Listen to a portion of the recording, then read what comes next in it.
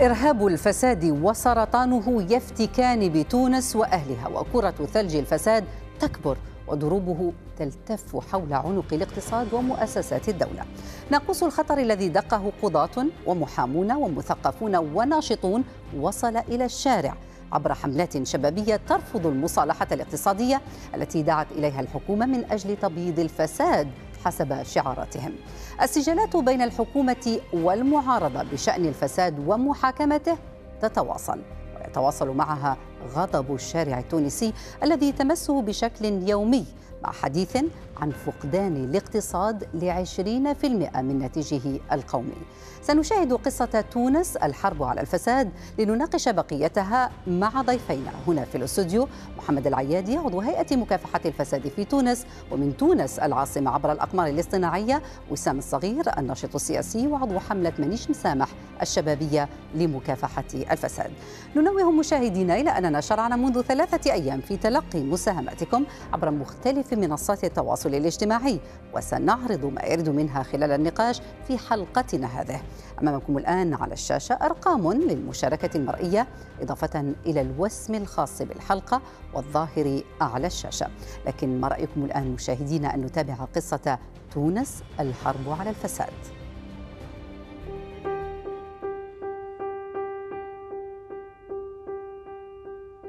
المهندس عبد المجيد ميلاد المدير العام السابق لمصلحة مسؤولة عن كامل منظومة الكمبيوتر والمعلومات الرسمية التونسية. منذ سنوات وجد عبد المجيد نفسه مطرودا من عمله دون سابق إنذار والسبب هذه الرسالة. هذه الرسالة اللي بعثها للسيد الوزير الأول وكانت سبب في إقالتي بعد أسبوعين تقريبا. كان هذا في سنة 2000 عندما أثار استغرابه انهيار منظومة المعلومات في البلد برغم جهوزيتها. وقتها 450 ألف معناها موظف رواتبهم معناها منقوصة كونت لجنة لأتعرف لماذا لماذا وقع هذا الإشكال. اكتشف عبد المجيد تلاعبا بصفقات أجهزة نقل المعلومات صفقات بعشرات الملايين من الدولارات. فتم إقالتي بهاتف من رئيس الدولة. بعد سقوط نظام بن علي عاد عبد المجيد إلى منصبه. لكنه ما زال يحذر من تواصل تفشي الفساد. المفيد تو نخمو في من الأجيال القادمة ومستقبل بلادنا. هو مش يعني رد لاعتبار الشخص وإلا إيقاف شخص. هي المنظومة مازالت متواجدة منظومة هيكليا مازالت متواجدة في الإدارة التونسية وحتى على المستوى السياسي. من هنا مر عبد المجيد مثل آلاف غيره. من هذه الهيئة المسؤولة عن إعادة الاعتبار لضحايا حقبة بن علي.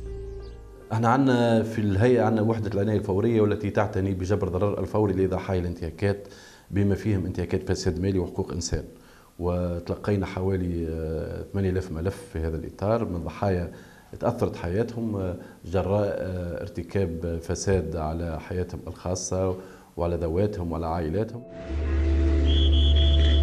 تونس بلد يتمتع بطبقة وسطى ونسب تعليم نموذجية. المرأة تشارك بكثافة في الدورة الاقتصادية وبنية تحتية محترمة. مع هذا تتجاوز نسب البطالة لدى أصحاب المؤهلات العالية 60% ويترنح الاقتصاد تحت ثقل مشاكل هيكلية متفاقمة مثل البيروقراطية العتيدة وتزايد مصاريف القطاع العام والفساد. تسبب الحكم الفردي في تضخم الفساد بشكل غير مسبوق. ولكن ليس هذا فقط. تونس تخسر سنويا نقطتين من النمو جراء الفساد. ما يعادل ما بين 30 و 40 ألف موطن شغل سنويا وهذا آه، آه، يغطي جميع الطلبات الإضافية من آه، جميع الطلبات الإضافية من التشغيل وخاصة بالنسبة لشهادات حاملي شهادات العليا. ولكن اعتقد الجميع وأنه بعد الثوره التونسيه سيكون هنالك تدارك النقطتين. ولكن تونس ما تزال تخسر حسب تقديرات البنك الدولي 20% من ناتجها المحلي نتيجة الفساد. فما الذي يحدث؟ ونحن نؤكد على نقطة آه، ثابتة وهامة جدا. لا خلاص لتجاوز المشكلات الاقتصادية في تونس إلا بحرب جدية وواضحة وحازمة وشفافة لمقاومة الفساد.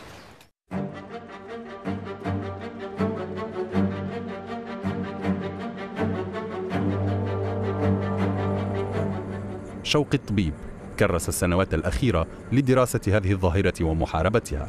محام عارض طويل النظام بن علي. هو يترأس اليوم الهيئة الوطنية لمكافحة الفساد هيئة رسمية ولكنها مستقلة. لا يكتفون بالتجارة والربح يريدون كذلك أن يحكموا يريدون كذلك أن يدخلوا في مفاصل الدولة يتحكموا في القنوات التلفزية وفي الإذاعات وفي وفي الجرائد يتحكمون في البرلمان. اليوم يتوجه شوقي إلى البرلمان من أجل مخاطبة النواب بخصوص هذه القضية الشائكة. الفساد يقابلوا فقر ويقابلوا غير تكافؤ ويقابلوا تهميش ويقابلوا انعدام للتنمية. بالنسبة للديمقراطية نتاعنا ما دام الفساد موجود هي مهددة والحرية مهددة وحرية التعبير مهددة وسائل الإعلام مهددة وتشترى وتباع كما تشترى البضاعة في السوق. شكرا لك. تفضل موارد الدولة. شوفها كيفاش تضيع. ها بالارقام عندكم 800 مليار على الأقل حسب معناها الخبراء تضيع نتيجة تهريب المواد المدعمة.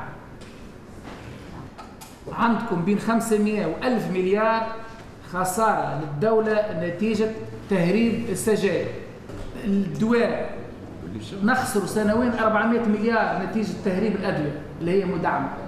هل تعلمون اللي 1700 مليار هي قيمة الخطايا؟ معناها بتاع الأحكام الغير مستخلصة بتاع الديوان ونلقى معناها ناس على مستوى رئاسة الحكومة يجاوبوا فيا على الصحف الصفراء. ما تنجمش ما تشعرش بالمرارة. ناس معنا متحكمين في دواليب الدولة ويعملوا اللي يحبوا والوزارات تصلح لهم وتصح لهم على مقراتهم ورؤساء الحكومات معناها مسلمين معناها الأمور والله غالب وتنشوف وترقعوا إلى غير ذلك. هل هناك إرادة حقيقية لمقاومه الفساد ولا لا؟ جبنا وقت في المجلس التاسيسي جبنا قانون من أين لك هذا؟ أو الشفافية والكسب غير المشروع. وفي في, في إطار هذا القانون هناك رقابة على الأحزاب على على تمويل الأحزاب. تم وضعه في الدرج هذا القانون. الطبقة السياسية نجم تكون البعض فيها مو الشاعر خطورة الوضعية اللي نحن وصلنا لها. ومسألة آه، الدولة المفيوزية اللي وصلنا إلى أبوابها.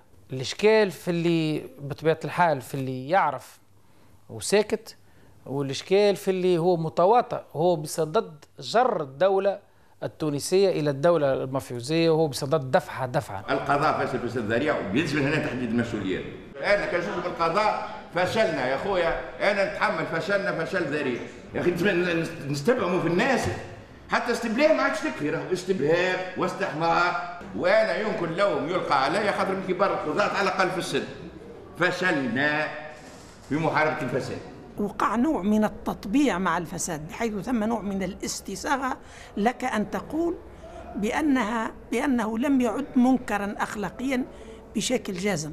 مرض أصاب الدولة في في في المؤسسات أو في آه، في مفاصلها معناتها وهذا هو اللي هذا اللي يخيف هذا اللي يخيف وينبئ لطف بعيد شر يعني لطف آه، بانهيار الدولة.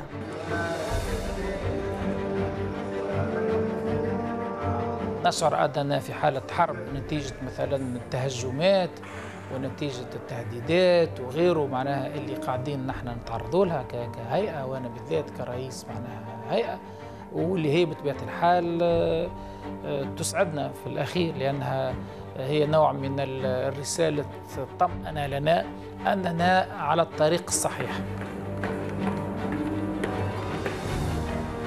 هذه جبهة تعاين علينا خوضة وأنت تعرف اللي القلاع الحصينة تؤخذ من الداخل. إحنا في داخلنا في داخل مؤسسات الدولة. فما مصالح آه، فاسدة. وهذه المصالح الفاسدة داخل أجهزة الدولة هناك من يدافع عنها. تقليم أظافر هيئات والسلطة القضائية وكل ما عنده علاقة بمكافحة الفساد عن طريق منع منع مثلا الدعم الحكومي عنه. ولكن نحن نعرف اللي في الحقيقة هم يفعلون هذا في إطار الدفاع على مصالحهم أو مصالح من كلفوهم بالدفاع عنها. في تونس ظهرت أسماء سياسيين بارزين ومرشحين رئاسيين في تسريبات وثائق بنما ووثائق سويسرا ليكس وتلاحق تهم الفساد وزراء ونوابا. في البرلمان تشتري أحزاب في الحكم نواب أحزاب أخرى بل أن أغلب النواب والوزراء لم يقوموا حتى بالتصريح بممتلكاتهم. إجراءات ينص عليها القانون لضمان الحد الأدنى من النزاهة والشفافية. لكنه لا يعاقب المخالفين.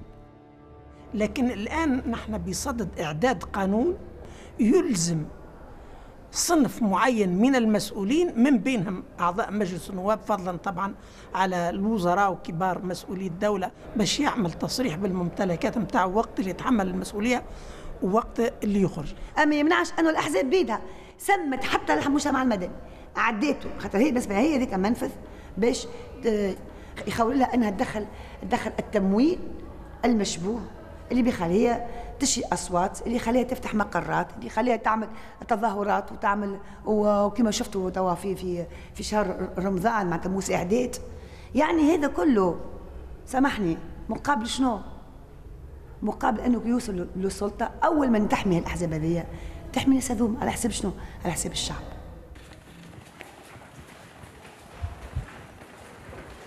غير بعيد عن مقر البرلمان.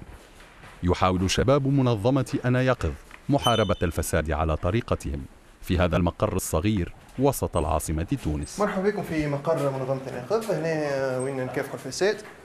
آه يسرى موفق. منال هذا من كل يعني آه، مشاريع في آه، عموما في الحوكمة في مكافحة الفساد. عندنا خاصة المركز يقظ لدعم وإرشاد ضحايا الفساد. عسامة انتصار آه، إسماعيل هندا مستشارين قانونيين. يعني هما آه، يتلقوا البلاغات وعادة البلاغات هذه يعدوها يعني الهيئات المعنية بمكافحة الفساد يدفعوا ساعات زاد القضايا. وإلا آه، يعني يعديها إحنا البيرو المكلف بالاتصال في نقض. وين محمد وأنا يعني نتكفلوا بنشر الملفات هذه سواء عن طريق الفيسبوك الإنترنت وكل ما هو يعني وسائل التواصل الاجتماعي. اي واتش هي مجموعة نتاع شباب juste بعد الثورة. مجموعة من الشباب مختلف المشارب. تنجم تقول آه، بداو des étudiants بعد ما كملوا تخرجوا فما شكون ولا يخدم فما شكون ولا يخدم في اي واتش تكافح الفساد؟ وما تكافحش الفساد هكا هو؟ مع الفساد لازم نحطوا الشفافية. لازم ندير حوكمه رشيده راهو أكبر عائق قدام النمو نتاعنا قدام الانتقال الديمقراطي هو الفساد. هذاك علاش إحنا كشباب من واجبنا أننا نجيبوه. نحاولوا ديما نحاولوا نجيبوا جديد وكل ما ما عندناش تبوات إحنا نحاربوا الفساد بالضحك آه، بالتنبير آه، نتجرؤوا نعطي ونذكروا الاسماء بمسمياتها ما عندناش نخافوا. يا سيدي حتى لو كان نهبطوا حاجة غلطة ينهبطوها غلطة خير من نقولوا نهار آخر ما هبطنا شيء ما كتبنا ما عملنا حتى شيء. أوكي أنت تعرف أما العباد ما تعرفش تنجم تسأل سؤال أنت تعرف الإجابة نتاعو تتعرض هذه المنظمات الشبابية الصغيرة إلى مضايقات عديدة. منها الملاحقات القضائية ومنها حملات تشويه شرسة من وسائل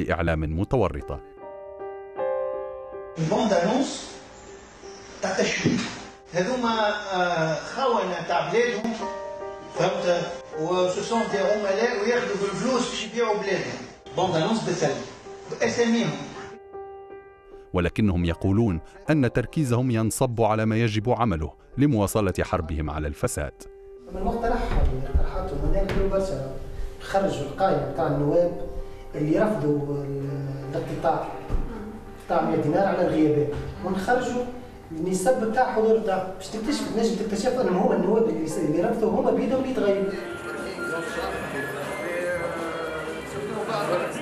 أهلا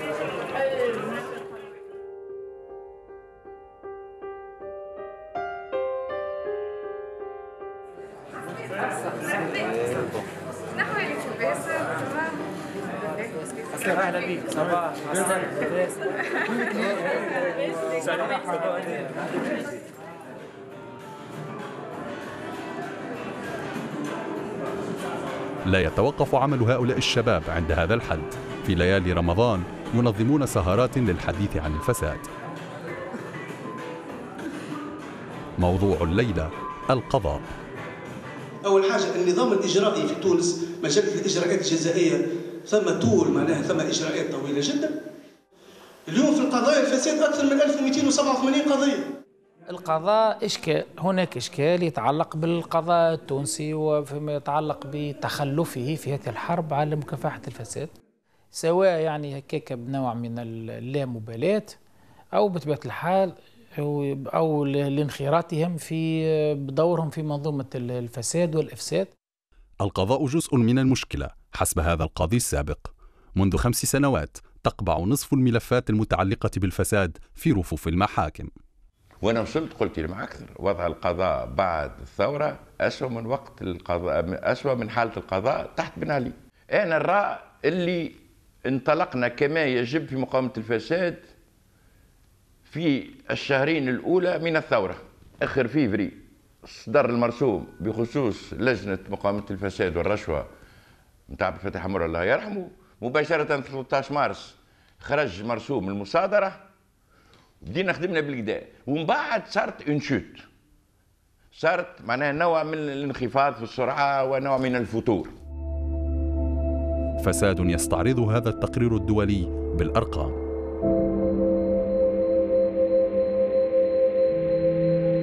تجاوز الانفلات في الموانئ والمطارات حدودا غير مسبوقة بعد الثورة. تتحدث هذه التحقيقات الداخلية عن أساليب قانونية لتهريب الأموال والبضائع في النقاط الحدودية عبر تواطؤ مسؤولين كبار في الجمارك مع شبكات مافيوية معقدة. في هذه المراسلة السرية بين مصالح الأمن والجمارك تطلب الأخيرة تسجيلات كاميرات المراقبة بعد سرقة ما تصفه بكميات هامة من الذهب والفضة من مستودعاتها. فترد مصالح الأمن مستنكرة أن يحدث هذا الطلب بعد أكثر من سنة كاملة من حدوث عملية السرقة. بعد كل هذا الزمن لم تعد التسجيلات موجودة بالطبع وبالطبع تقف القضية عند هذا الحد.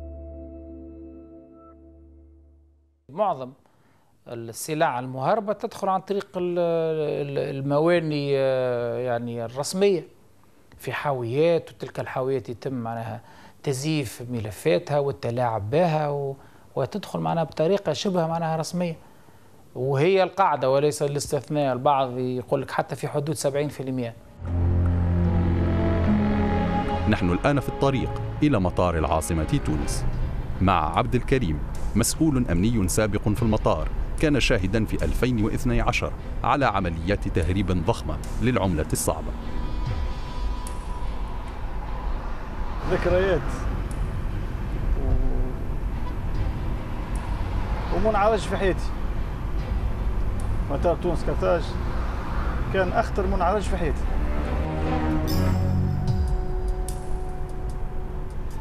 مطار تونس كرتاج هو هو الملاذ الوحيد للناس هذه الناس المهربين وبالونات التهريب.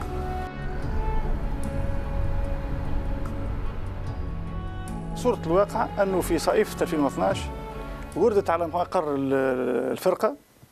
آه، مكالمة هاتفية مجهولة المصدر مفادها أنه آه، فما عصابة. آه، بصدد تهريب عملة في اتجاه الخارج. كمسؤول أمني أعلمت الأعوان والإطارات. واستنفرنا في كامل أرجاء المطار. وبالفعل فما تم ضبط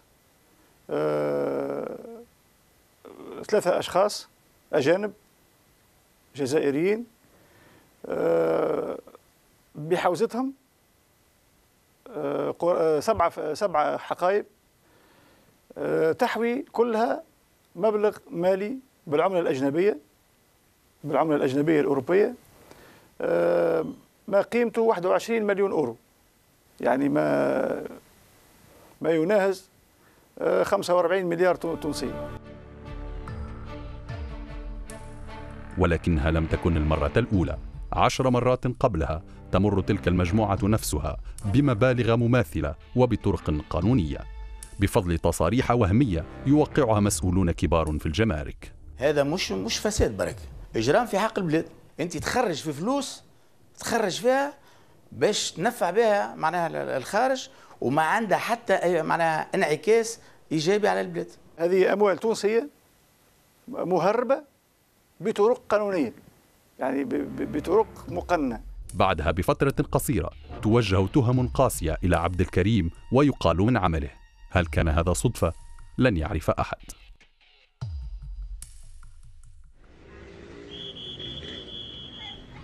في شارع الحبيب بورقيبة تدعو حملة منيش مسامح الشباب التونسي للتجمع من أجل التعبير عن رفضه لقانون المصالحة الاقتصادية. شباب هذه الحملة لا يعتبرون أنفسهم منظمة ولا يعترفون بالقيادة. يتقابلون في جلسات حوار مغلقة على فيسبوك وينظمون تحركات لمناهضة قانون تبييض الفساد. رأي تعبر عنه سماح العوادي ناشطة في الحركة. قانون المصالحة هذا خلينا نبداو من الأول هو آه، جاء في صيغة طرحتها وزارة آه، طرحتها رئاسة الجمهورية بلوتو باش تبيض رجال الأموال الفاسدين والإداريين وشبه أشباه الموظفين اللي هما الوزراء والولاة وما إلى ذلك لتبييضهم.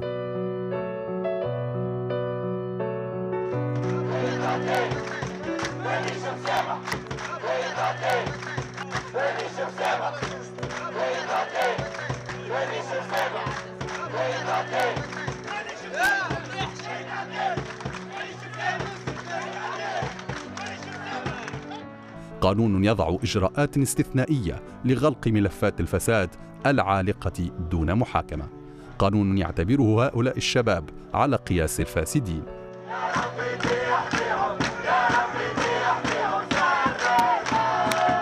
هو لحماية رجالات الدولة في عهد بن علي من الذين كانوا يرتكبون جرائم والذي كان والذين كانوا يساهمون عبر ميكانيزمات وعبر آليات في جعل الفساد هي منظومة وليست بحركات أو ممارسات معزولة فردية.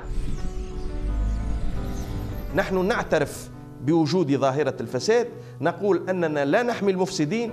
من تثبت التحقيقات وليس الفيسبوك أو الإشاعات. من تثبت التحقيقات أنه مدان نحن لا نحميه إحنا مساندين. مبدأ المصالحة العامة وكل ما يسهل معالجة ملفات الماضي والتخلص منها بعد معالجتها إحنا مع هذا نحب التوانسة يمشوا إلى الأمام يتجهوا إلى المستقبل يتنافسوا في مشاريع المستقبل ما يغرقوش في مشاكل الماضي لأنها ما تزيدهم كم فرقة. يلزم استراتيجية. أما هذه معناها ثورة ومجلس ثورة وبدل كل شيء جديد. مش مش عملية سهلة لها الدرجة أنه آه نقطع ونعاود من جديد. لا يا سيارة وبلاد هذه. بلاد. هو ليس بقانون للمصالحة لأنه مفهوم المصالحة غائب تماما. ما ثماش مواجهة بين الضحية والفاسد؟ في قانون المصالحة البطل نتاعو هو الفاسد. وهذا الشعب سيتمكن بحول الله من كسب هذه المعركة ضد الفساد. المهم وقع هو أن الشعب التونسي قرر الحرب على الفساد وبدأ هذه الحرب. الباقي الكل في رأي التفاصيل ومسألة وقت لا غير.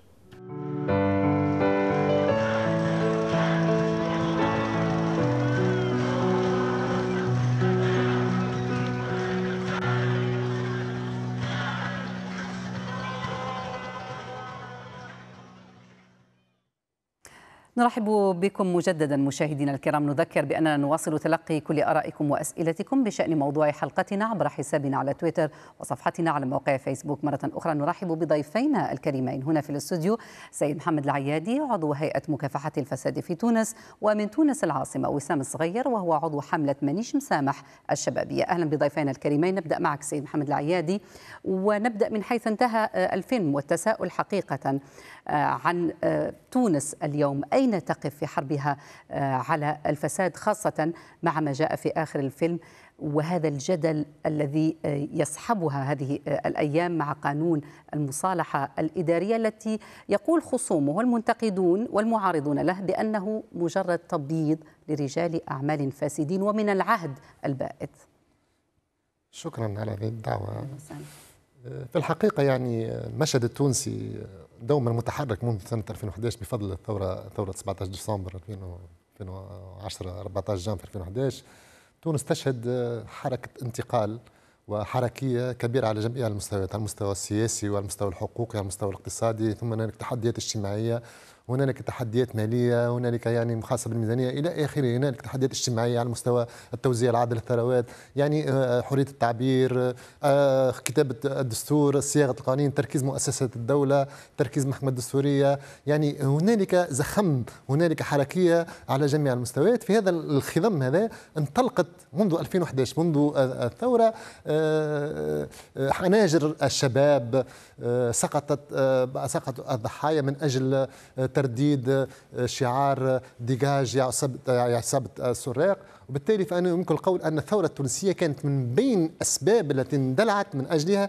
هي الثورة على الاستبداد والفساد الذي كان في ظل المنظومة المنظومة السابقة. وانطلقت منذ ذلك الحين أصوات وحركات ومحاولات لتفكيك منظومة الفساد القديمة. لكن شيء فشيء تبين أن هنالك نوع من التراخي بعض الأحيان لمدة سبع سنوات. هنالك مراحل في مستوى هذه المدافعة الاجتماعية آه، في ضد هذه الحرب. حرب شرسة حرب طويلة المدى تتطلب وسائل وإمكانيات كبيرة. تتطلب آه، سياسة وليس يعني حركات ارتجالية وليس يعني محاولات من هنا هناك بل يجب أن تكون هذه الحرب مؤسسة على آه، إرادة سياسية مؤسساتية حرب الفلسطينيين لكن هناك من يتحدث السيد محمد العيادي بأنه لا توجد جدية حقيقية لدى هذه آه، الحكومة. هناك اتهامات حتى لرئيس الحكومة بإعادته للواجهة بعضا من رجالات بن علي الذين كانت عليهم علامات استفهام عديدة وشبهات آه، فساد. ومن هنا السؤال. هل هو مجرد تراخي أم أن الوضع بالفعل كما تقول كثير من الأصوات في الواقع أن موضوع الفساد بات مستشريا أكثر حتى قبل من الثورة؟ هو آه، موضوع إرادة آه، الحقيقة موضوع الإرادة آه، أحيانا تقوى واحيانا تضعف. واحيانا نجد تفسيرا لهذه هذا التذبذب في في هذه الإرادة التي نجدها أحيانا ولا نجدها أحيانا. حتى الإرادة السياسية ليست لوحدها هي الكفيلة. أحيانا نجد هنالك ضعف حتى على مستوى المدافعة الاجتماعية ضد الفساد. يعني حتى المجتمع حتى على مستوى المجتمع والتنظيمات الاجتماعية والتنظيمات النقابية والمؤسساتية تجد أحيانا صد منها في مكافحة الفساد. يعني هي تنادي مكافحة الفساد لكن حين تلمس تلك التنظيمات تلك المنظمات فتجد صدا على أساس هنالك مدافعة قطاعية. لما نلمس القطاع الأمني أو القضائي أو الإعلام سوف تجد أن القطاع آه، المعني بال آه، المعني بال بتوجيه النظر نحو سوف آه، ومؤيديه ومناصريه ومنخرطيه سوف يحاولون دفع كل المحاولات المتجهة نحو آه، آه، يعني محاربة ذلك القطاع أو الفساد الموجود في ذلك القطاع، وبالتالي الحديث على أن الإرادة السياسية منقوصة، نعم قد تتذبذب وقد تتراخى، لكن نفس الشيء المدافعة الاجتماعية وكذلك الظروف التي يعيشها المجتمع التونسي باعتبار أن هنالك رهانات اجتماعية كبيرة، هنالك أشكال جديدة من الفساد ظهرت على أرض الواقع، هنالك عوائق وتحديات كبيرة مثل الإرهاب مثل الاحتجاجات الاجتماعية داخل الجهات واضح. كل هذه المسائل من شأنها أن تعيق الإرادة السياسية نحو التقدم أكثر من أكثر من ذلك. سأساعدك في هذه النقطة وحتى نكون منصفين وسؤالي أتوجه به الآن آه، إلى السيد آه، وسام الصغير. سيد وسام يعني رغم كل الخطوات التي يشهد بها القاصي والداني لهذه آه، الحكومة في محاربة الفساد ليس أقلها إلقاء القبض بالفعل يعني مؤخرا على أشخاص تحوم حولهم شبهات الفساد. ناهيك أيضا عن ما تعهد به رئيس هذه الحكومة. الحكومة بأنها حكومة حرب على الإرهاب وعلى الفساد. كان غريبا آه، أن يقرن الإرهاب مع آه، الفساد نظرا لما يمثله لأولوية لهذه الحكومة. لكن رغم كل ذلك تستمر الانتقادات. لماذا؟ أين من وجهة نظركم تقصر الحكومة؟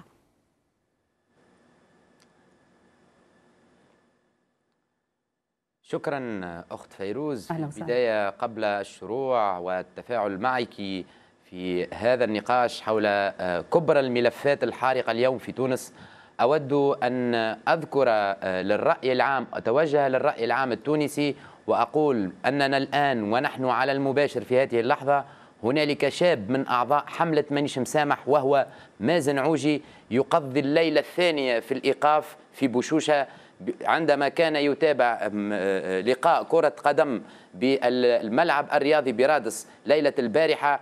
وبسبب ارتدائه بسبب ارتدائه لقميص حملة مانيش مسامح يتم إيقافه والاعتداء عنه. وإلى هذه اللحظة هو رهن الإيقاف ليتم تقديمه غدا إلى العدالة وضحت وجهة نظرك. لو تعيدنا إلى الموضوع سيد وسام بالاعتداء على الأخلاق الحميدة.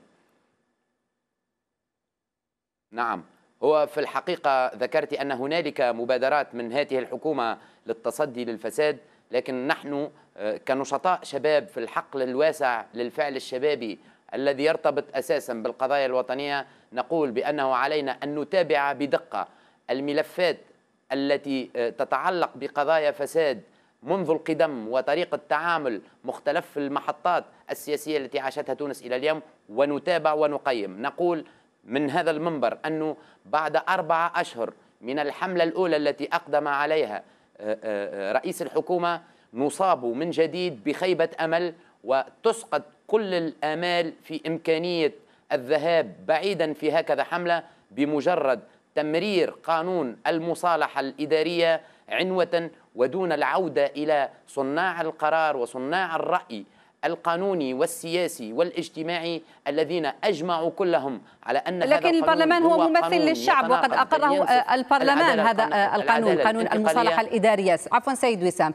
وهناك من يقول بأنه بالنظر للمصلحة العليا وضرورة طي هذه الصفحة الماضي والمضي قدما كان من الضروري اتخاذ هذه الإجراءات السياسية آه، آه،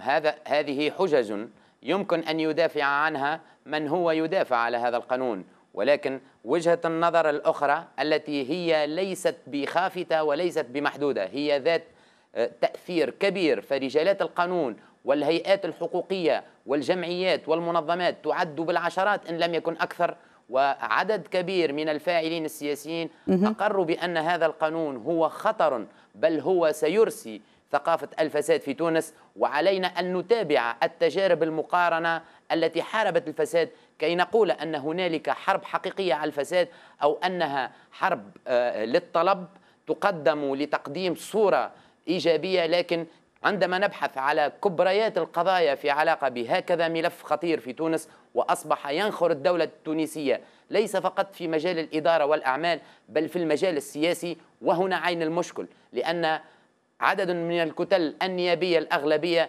متهمة أو هنالك شبهات فساد تحوم حول عدد من نوابها ومسؤوليها السياسيين وضح تماما. عندما كانوا يتقلدون مهام في وزارات أو من خلال علاقتهم برجال الأعمال الذين تتعلق بهم شبهات فساد. إذا ما يقوله سيد وسام يذكر على نطاق واسع في تونس بأن هذه الحرب ليست جدية بل يصفون بأنها حرب انتقائية لأهداف سياسية وتصفية حسابات أيضا سياسية. ومن هنا السؤال باعتقادك ما الذي يجدر فعليا القيام به من قبل الحكومة التونسية كخطوات ملموسة يعني تقوم من خلالها ب مكافحة هذه الآفة التي تنخر في نهاية الأمر الاقتصاد التونسي والتي كانت سببا من أسباب ولعله ربما السبب الأكبر لقيام الشعب التونسي بثورته.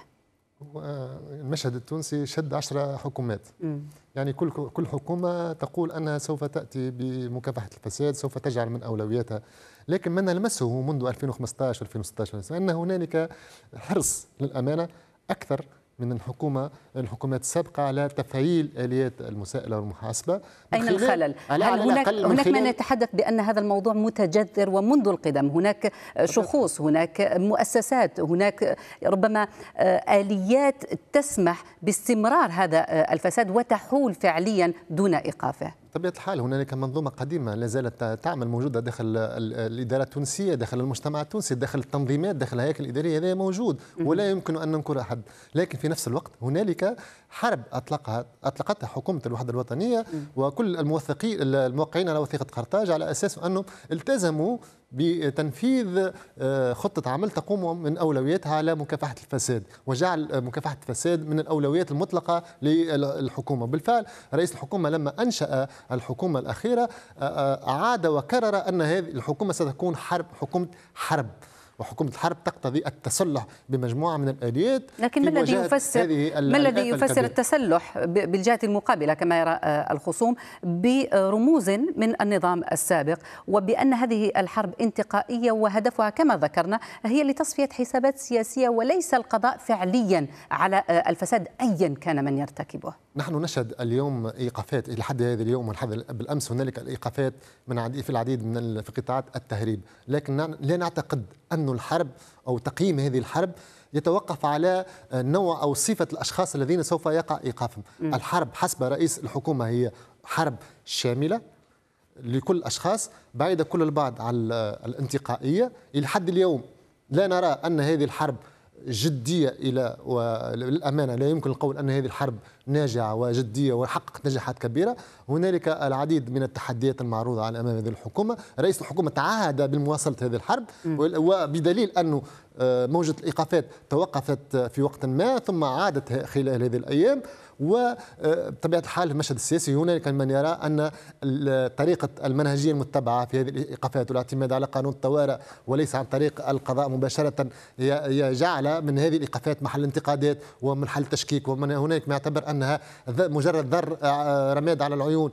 واختلافات. على كل حال آه، المجتمع التونسي متيقظ. أنت تشاهد الشباب التونسي موجود وقوة المجتمع التونسي في المجتمع المدني الذي متيقظ شبابا ورجالا ونساء لكن هل يكفي هذا التيقظ؟ دعني أتحول إلى وسام. الحكومة في مكافحة الفساد. واحد من هؤلاء الشباب. واذا كانت الحكومة سوف تجعل مكافحة الفساد مجرد شعار فهي سوف تكون الخاسرة الأولى أمام المجتمع وأمام منتخبيها وأمام الخاسرة الأولى يقول ضيفنا الكريم هنا في الاستوديو السيد محمد العيادي آه، وسؤالي موجه إليك آه، وسام.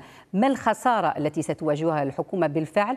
ونحن على بعد أيام للبحث في النقد الذي آه، أو الطعن الذي قدم على هذا آه، القانون الذي تعترضون عليه بشدة إضافة إلى أطياف أخرى في المجتمع التونسي، ما نوع التحرك؟ ما نوع الاحتجاج الذي يمكن أن تقومون به؟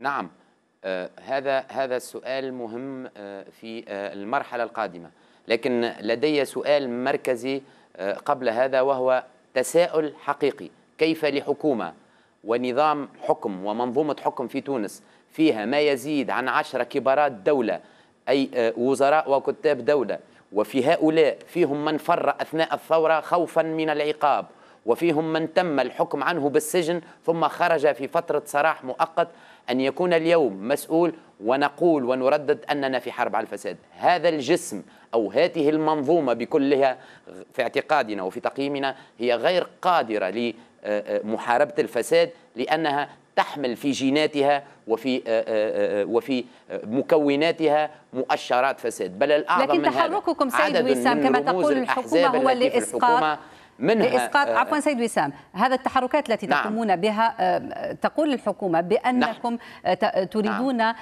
ربما إسقاط خطوات ضرورية هي في نهاية الأمر يجب القيام بها لإنقاذ الاقتصاد آه، التونسي. ما حججكم في آه، إسقاط قانون تمت المصادقة عليه وأقر في برلمان انتخب من قبل الشعب في تونس ما بعد الثورة؟ طبعا. أولا اولا هذه الحجة مردودة على أصحابها لأنهم آه، المبادرون بهكذا قانون أسقطوا المجال الاقتصادي أو المصالحة في المجال الاقتصادي وجرائم الصرف المالي وبالتالي حافظوا فقط على العفو على الإداريين من تعلقت بهم قضايا فساد خلال الفترة السابقة. وبالتالي المردودية المالية هذه حجة مردودة على أصحابها لأنهم كما قلت أسقطوا الجانب المالي والجانب الاقتصادي. هذا من زاوية.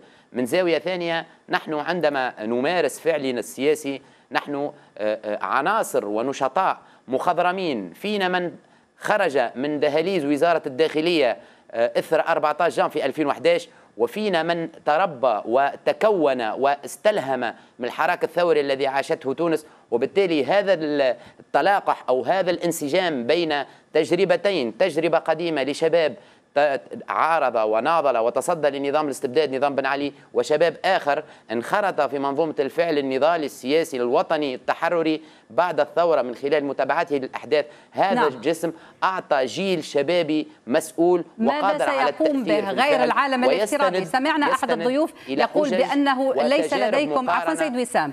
أحد الضيوف قال بأنه ليس لديكم سوى اتهامات وتقارير تنشرونها على الفضاء الافتراضي. ماذا عن ال ال الواقع الحقيقي؟ خاصة وأن تونس هي التي فجرت أولى ثورات الربيع آه، العربي هل يمكن آه، أن تقوم بربيع على الفساد أيضا؟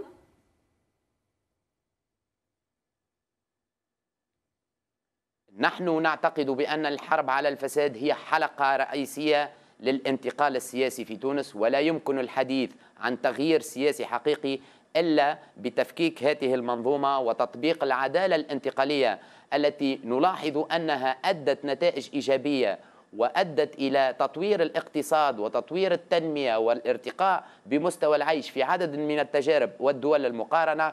آخرها تجربة سنغافورة وما قدمته هذه التجربة من آه، آه، أسباب نجاح وتطوير الوضع الاقتصادي والوضع التنموي في سنغافورة والكلمة الشهيرة لرئيس حكومتها لي كناو ياي عندما ذكر بأنه لا توجد قررنا أن تكون أن تكون لنا إدارة نظيفة. بينما رئيس الجمهورية التونسية الباجي قايد السبسي يقول قررنا أن نعود أن نعفو على الإداريين الذين تعلقت بهم قضايا فساد. هذه هي المعادلة التي نعتبرها. مخلة في تونس والتي يجب أن نتعامل معها بعقلية وطنية لا تبحث على الحلول الشكلية بل تبحث إلى المشاكل في أعماقها.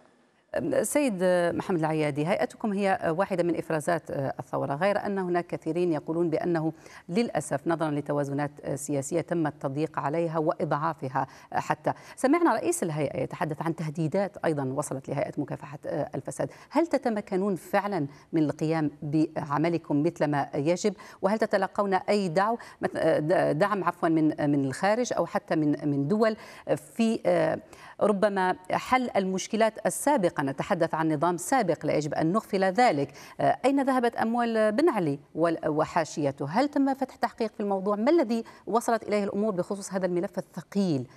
وربما هو أول الملفات في الفساد في تونس. بخصوص مصادرة الأموال أموال الرئيس السابق وعائلته إصدار مرسوم المصادرة في 2011 تم مصادرة 114 أملاك 114 شخص من بينهم الرئيس السابق السابق وعائلته ومجموعة من الشخصيات. وكذلك تم إضافة قائمة إضافية. كل من شخص ثبت أنه أملاكه أرزاقه آه، تحصل عليها بطريقة بصفة من خلال علاقته بالرئيس السابق أو بأحد الأشخاص المذكورين في القائمة 114 وبخصوص آه، استرجاع الأموال آه، المنهوبة. تم تكوين زاد لجنة وطنية لاسترجاع الأموال المنهوبة إلى الخارج لكن على المستوى سواء على مستوى المصادرة وكذلك على مستوى استرجاع الأموال المهربة إلى الخارج في الحقيقة الواقع التونسي يشهد تعثر وبطء وفشل في تحقيق نجاحات كبيرة باعتبار أنه على مستوى المصادرة نشهد آه، العديد من الأملاك والمنقولات التي صدرت ضمن قائمة الأشخاص هذوما لكن لم يقع حسن التصرف فيها وإعادة توظيفها وإدخالها ضمن المنظومة القانونية الجديدة وعن طريق التفويت فيها عن طريق امتلاكها من طرف الدولة وتوظيفها ضمن الاقتصاد وبالتالي ضاعت العديد من المؤسسات هنالك الآلاف من المؤسس من هنالك المئات من المؤسسات المصادرة التي تلاشت واضمحلت بفعل أنه لم يقع آه، آه، أخذ قرارات في شأنها. ثم على مستوى الاسترجاع الأموال المنوره هنالك العديد من الصعوبات نعرفوها. ناتجه على صعوبات على المستوى الثغرات التشريعية على مستوى آه، التشريع التونسي في عدم ملائمته للاتفاقية الأممية لمكافحة الفساد والتشريعات الدولية المنطبقة في هذا المجال. وهنالك كذلك نقص في الخبرات والتمكن في تقنية استرجاع الأموال المنهوبه وكذلك هنالك نقص في التعاون القضائي الدولي على هذا المستوى. هناك العديد من الدول وجهت لها إنابات قضائية بخصوص استرجاع الأموال المهربة إلى الخارج وهنالك تلكؤ وهنالك تباطؤ في الاستجابة لهذه الإنابات القضائية بما عسر مهمة استرجاع الاسترجاع والحصيلة إلى اليوم. هي آه، آه، طائرة يختان آه، يختان طائرة و28 مليون دينار هذه حصيلة أموال مصادرة وهنالك حديث كذلك عن سوء تصرف في هذا الملف وفساد في داخل هذا الملف باعتبار أن هنالك آه، آه، يعني عدة إشكاليات على مستوى الواقع في سيد وسام يعني إذا ما حاولنا أن نتحدث عن المستقبل الآن تونس أمامها مواعيد انتخابية مهمة في المدى القريب. باعتقادك ملف الفساد كيف سيؤثر فيها؟ هل ستكون ربما فرصة لمحاربة الفساد يعني الخروج بتشريعات وغيرها وخطوات في محاربة الفساد أم أن المال الفاسد السياسي وتورط بعض الأحزاب السياسية التونسية الذي تحدث عنه الشهود في آه، آه، الفيلم سيبتلع آه، هذه الانتخابات والعملية السياسية برمتها في تونس.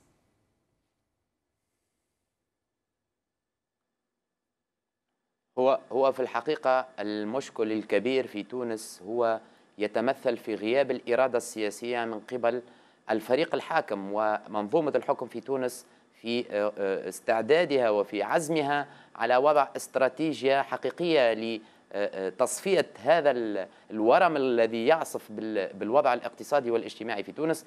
نحن في إطار نشاطنا الشبابي الذي يبحث على وسيلة لتغيير هكذا عقلية وثقافة سياسية تكلست وأصبحت همها الوحيد البحث على التموقع السياسي أو البحث على البقاء هكذا في وضع مستقر دون القيام بمبادرات عميقة وجدية لإجتثاث مثل هذه الأورام التي أثرت على الوضع السياسي في تونس. نعتقد بأن التشابك والتلاقي بين رجالات سياسة ورجال أعمال ووسائل أو مؤسسات إعلامية تقاطع وحتى القضاء هناك من يشير إلى القضاء أيضا. ومن هنا سؤالي وجاوبني عليه باختصار لو تكرمت سيد آه، وسام مستقبل الحرب على الفساد بأعتقادك والحراك آه، الشبابي إلى أين؟ لأن الوقت يداهمنا في أقل من دقيقة. نعم نعم. الحراك الشبابي هو في تواصل وبصدد آه، إرساء أو بصدد تكثيف التأثير على مستوى وطني واليوم نشاهد ونتابع لا فقط في هذا المجال تونس العاصمة كعاصمة هنالك تحركات على مستوى وطني وهنالك آه، انخراط كبير وواسع للشباب التونسي وهذه صمام أمان هذا الجيل في تغيير الثقافة السياسية التي ذكرت أنها ثقافة غير قادرة على تغيير الواقع لأسباب ترسبات تاريخية لكن في نفس الوقت التأثير سيكون على المدى المتوسط لا ليس على المدى القريب لأنه هنالك إذا تحتاجون وقت. واضح تماما سيد وسام. دعني أتحول تحول لأن... دون كذلك. لكن نحن ن... ن... نحن أعد... بصدد البناء على هذه الثقافة التي تعمل على التأثير تماماً. المباشر لكن التأثير الاستراتيجي سيد محمد العيادي فيما تبقى لدينا من وقت سمعنا رئيس هيئة مكافحة الفساد يتحدث بأن الشعب التونسي قادر آه، على آه، تجاوز هذه آه، المحنة وأن المسألة هي مسألة وقت في نهاية الأمر وفق أي آليات يعني باعتقادي خاصة في ظل الوضع القانوني والسياسي الذي نعيشه وفي ظل الاتهامات الموجهة للقضاء التونسي الذي يقول البعض بأنه أسوأ مما كان عليه من قبل.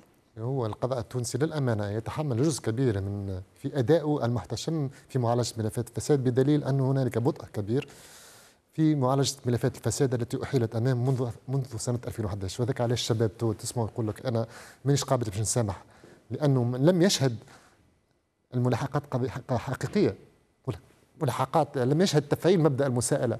لم يشهد ملاحقات قضائية وكشف لحقيقة المنظومة التي كانت تسير هذه التنظيمات الفاسدة في المجتمع التونسي والتي أثرت على ممتلكاته وعلى مستقبله وعلى مستقبل آه، عائلته وعلى مستقبله توا الحالي ولا ولا حاضره الحالي بالتالي في ظل هذا الوضع الحرب على الفساد إلى الحرب على الفساد. إذا الشعب هي بيد الشعب التونسي يخطئ أو يغالط من يقول أن انتصرنا على الفساد. الحرب على الفساد هي حرب طويلة تتطلب نفس طويل تتطلب مأسسة ولا تتطلب ولا تتعلق بحكومة آه، الشاهد أو بالعميد شوقي طبيب أو غيره. ليست حكومة أشخاص ليست حرب أشخاص وإنما هي حرب مؤسسات يجب أن تتوجه فيها نحو تكون هنالك استراتيجية وطنية لمكافحة الفساد.